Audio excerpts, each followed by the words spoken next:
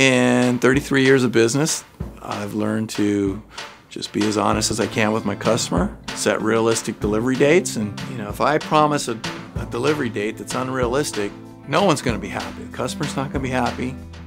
I'm not going to be happy. By maintaining that philosophy, it uh, makes me really feel good about what I'm doing. If you want to check out our website, there's some cool pictures, past projects we've done, and I hope to hear from you soon.